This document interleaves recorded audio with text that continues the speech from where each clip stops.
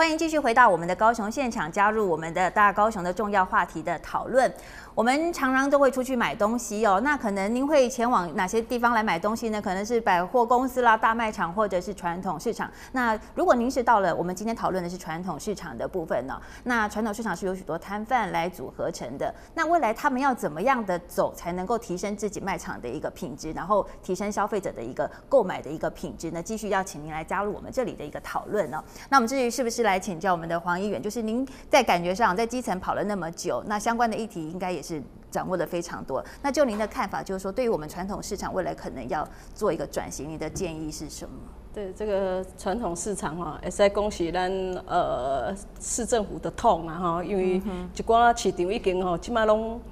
无咧营业啊，但是吼，你也去甲查讲摊贩吼，诶，还是那么多，就是讲五六十间，但是你也实际去甲看咧营业的吼，可能剩三间。哦，剩三档咧卖啦吼，啊，所以我觉得这些都应该要转型。吼，譬如讲，你会当甲找一个较营业较好，你甲这个摊摊贩吼，拢甲移过这个所在，就是把它整合起来。吼，不然你看为什么大家不会想要去传统市场？第一，环境的问题，卫生的问题，吼，所以大家无愿意加入这个传统的市场。所以变成讲，你看现在大型的大卖场，为什么它做得起来？为什么它生意会好？Costco。家乐福，好，这些生意都很好，为什么？因为它一进去的感觉就很明亮、很干净，而且有停车场，哈，这种方便性哦，就会让上班族的这些年轻的家庭主妇会想要走进这个地方，他不会想要走进传统市场。所以我们一直在催促说，你传统市场应该来转型。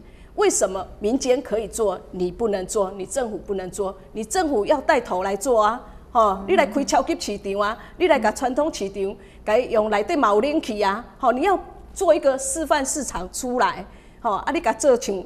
家乐福啊呢，做像大卖场啊呢，吼，让年轻的族群想要走进这这种传统市场，吼，就像我那天看了一一部影片《拜金女王》，它里面就有一个片段，它是这样，它就是一个传统市场的被好建户拆迁啊，吼啊，结果他就是。因为他有鼠疫的问题，尿出来一大堆啊，啊，然后他就想了，他就想了一个创意，说啊，我是模特出身的，好，我就在结束的时候就就来呃，把它用创意的就走秀方式，结果就吸引了很多人去看，哎，结果大家一进去看，跟以前不一样，哎，它变得很明亮啊，它变得呃，就是整个都整理过了，所以大家又会重新回到这个传统市场来，好，所以。这个就是创意啊！哈，那我想说，市政府其实要带头来把这些传统市场把它转型，成为一种就是比较现代化的，不要停留在呃过去脏乱呐，或者说交通不便呐。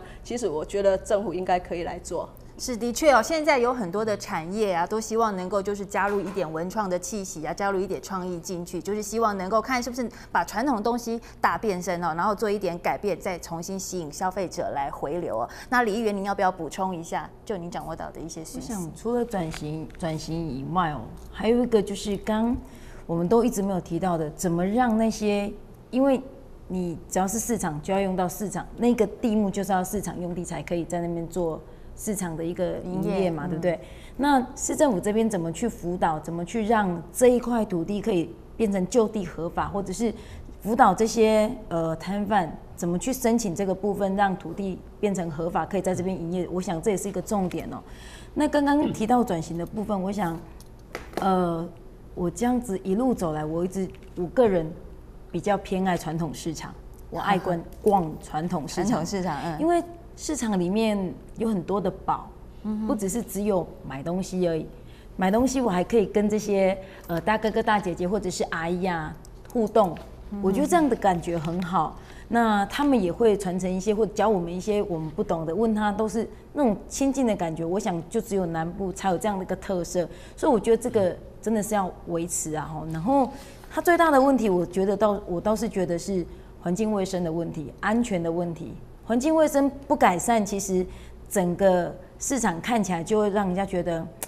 很落后、脏乱。对对对对，很落后。那或者是很就是不想走进去啊，或许大家有些像我，我就习惯，我觉得哎那种感觉不一样，可是我就要踮着脚尖走，要很小心，那比较不适合老人家。我我就觉得环境卫生跟安全的问题，消防设备这些，我觉得都要。那除除此之外，刚刚有提到还有有有一些是在露天的就没有亮度的问题，那有一些是属于在那个比较半半封闭式的那种室内的那种那个。光线我都是觉得真的是要把它提高那个亮度。那整个下如果这样整个改造下来，我想它不输超级市场，它真的不输超级市场，它甚至可以取代超级市场。我我个人不爱那么冷的一个市场，对购物环境，因为除了比较凉或者是环境卫生比较好以外，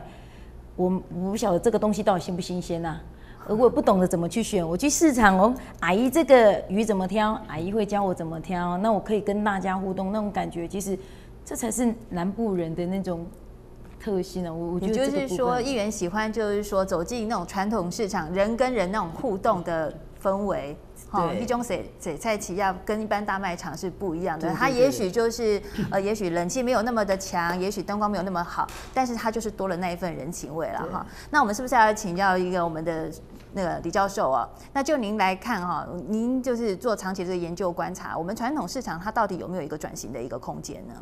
呃，跟各位呃观众朋友来报告，我觉得市政府本身可能要做的是几件事情。第一个就是原来市场用地的活化，因为刚才黄岩所说的，现在很多的市场其实它也是呃一些比较没有使用率那么高，所以我们在做这样的一个现有的市场的用地的部分，必须要做一些整理跟盘查。然后有一些可能还荒废在那边的话，是不是可以用 BOT BOT 的方式，呃，把它转移出去给民间来做经营，然后定期来收取它的税金啊，然后再做一些经营跟管理的一个便利性。我觉得市场用地的活化是呃整个经发局应该要做的事情。另外，其实高雄有一个很特别的地方，就是观光夜市哈，嗯，我们有六合夜市，很多陆客啦，很多外来的观光客会来，事实上在地人都会去那个瑞丰夜市。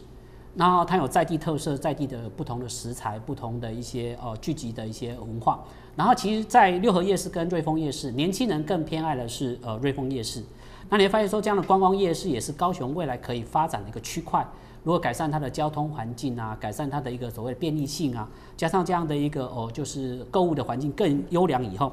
另外我建议的第三点，其实就是可以改改在那个所谓的农业的市场。这可能大家听得不太懂，它就是原来果菜市场。事实上，在呃国外很多那个果菜市场部分，它其实是一个可以去 shopping 的地方，然后可以去寻宝的地方。很多的小朋友他做他的一个所谓家庭功课，其实是到那个果菜市场去，然后认识新的不同的一些呃就是呃作呃农作物不同的一些品种。然后你会发现说，它如果在果菜市场能变成一个这样的一个方式的话，它有一点像观光的农业市场。所以礼拜六、礼拜天的话，就吸引更多的人潮进入到怎样整个市场来。所以希望金发局能够对市场的用地活化啦、观光夜市啦、农业的一个市场部分更多的琢磨。我想对传统市场的改变会有一个新的发展的风貌。嗯，没有错，的确，因为像我们刚刚综合来宾哈，他来宾就讲，有些地方他可能是合法的，但是他没有办法招商哎，他招不到商，团款那不爱的比。那另外就是他场地很好。好，他他选的一个场地，可是那个场地却是不合法的。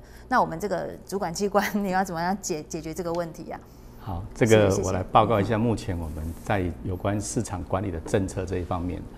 那没有错，诚如刚才两位议员的一个指教，跟我们李教授的一个指教哈。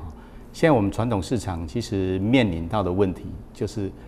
过去很多生意很好、很兴盛的，可是经过时代的变迁，因为经济环境的变化，然后它没落了，所以我们现在对市场它要做一个分级，也就是说有竞争力的市场，还有有待辅导的市场，还有没有竞争力的市场，我们把它分为这三级。那在这三级的分类底下，我们要集中资源，在有竞争力的市场把它辅导，让它更这个有那个这个商业的机能。然后没有竞争力市场，我们希望把它退场掉，然后集中资源在有竞争力的市场。那另外，我们对市场的这个分析里面，刚才有很那个来宾有提到说，其实我们就目前传统市场面临最大的威胁，就是我们的一些大卖场，一些比较兴盛的这些超级市场的出现。那另外，我们的劣势就是说，我们过去市场已经一二十年了，甚至五六十年很久的老旧市场，环境啊、卫生条件都很差。那我们要怎么改善？嗯，那我们就要去看我们传统市场的优势在哪里。我们的优势就是说，我们跟消费者之间面对面可以沟通，它是一个很好的社交途径，而且呢，价格有弹性。我们到超级市场就是一个价格，那我们到我们到传统市场，我们去可以跟他去杀价，价格有弹性，这个是我们的优势。但是我们现在面临的我们的机会是什么呢？我们的机会就是说，我们现在。的这个观众，我们的观众朋友也知道说，我们现在是高龄化的社会，少子化的社会。那我们要怎么样改善传统市场？所以我们今年特别那个编列预算，就是改善我们有竞争力的市场。希望从它的地板、排水，还有我们的厕所这三个部分，那个市民感受最深的这些公共设施，让市场能够干湿分离，让我们去上我们去菜市场的时候，能够厕所能够干净。那这样子可以提升我们市场的环境，这样子。让我们的老百姓、我们的市民朋友到我们的市场里面，就可以感受到我们这个传统市场是有一个改变。嗯，是。那我们雅金议员有没有要补充的？针对我们处长，刚刚就是只有针对市场的部分哦，或者是摊贩的部分，还有一个问题是，除了这样的一个改善以外，还有一个问题，我觉得还蛮重要，就是停车的问题。它周边停车如果没有适宜的停车问呃停车场。供我们这些就是去消费的消费者来做停车或者是呃置放的地方，大家都路边随便停的话，其实也是造成摊贩不便利。就是有可能我就随便停在人家摊贩前面，可是我没有买，也是造成人家的不便，或者是造成道路安交通安全的一个呃不适性这样子。我想停车的问题也是要整个通盘的去做考量哦。那这样子。这整个摊呃摊贩的一个集中场才会整个就是会活化起来。我想为什么五泉我们凤山五泉黄昏市场那边会这么的活络，三十年不变哦，每年到了三点慢慢的有呃摊贩进驻，然后到晚上有时候七八点还有人哦。那便利性，它的便利性很高，它机动性很高。那可是它唯一的缺点就是停车的问题。哦，所谓便利性高，是因为它是刚好有有一些在路边，我就骑过去。哟，老板，我被被停了。这个便利性，可是重点，我我这样整个现在看下来，其实我真的觉得停车问题那边不好停车，这个可能要也是要拜托我们市政府、我们经发局来做一个妥善的规划，是不是？每一个呃集中场、每一个摊贩零售场旁边一定要有多少的一个停车的呃规规划？这个配套措施可能要。由我们比较专业的经发局这边来做妥善规划，这样就是相关的配套可能还要再严谨一点哦。